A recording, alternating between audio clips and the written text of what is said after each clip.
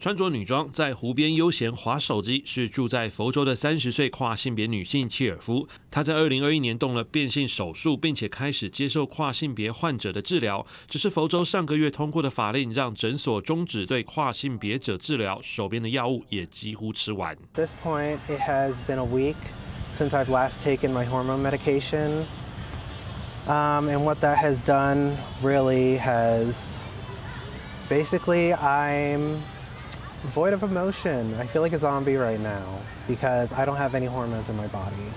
谈到动变性手术的前几年，切尔夫说那是人生中最黑暗的时期。只是佛州的新法案上路，禁止对未成年跨性别者的医疗照护，成年跨性别者也遭到严格限制。It takes so long to actually find those affirming providers.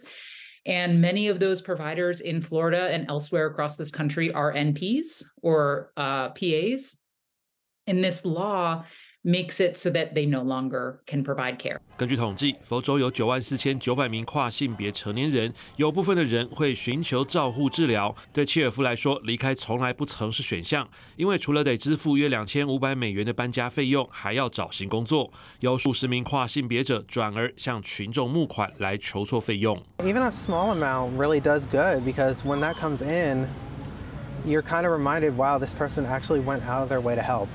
Like it's not even about the amount of money, it's the fact that they went out of their way to donate in the first place. 募款平台数据显示，一月至今已获得超过二十万美元的捐款，而且有三名跨性别儿童向法院提起诉讼。法官在六号裁决，性别认同真实存在。佛州拒绝向未成年人提供治疗，没有任何合理依据。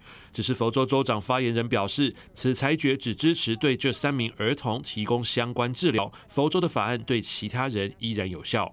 公司新闻这位人编译。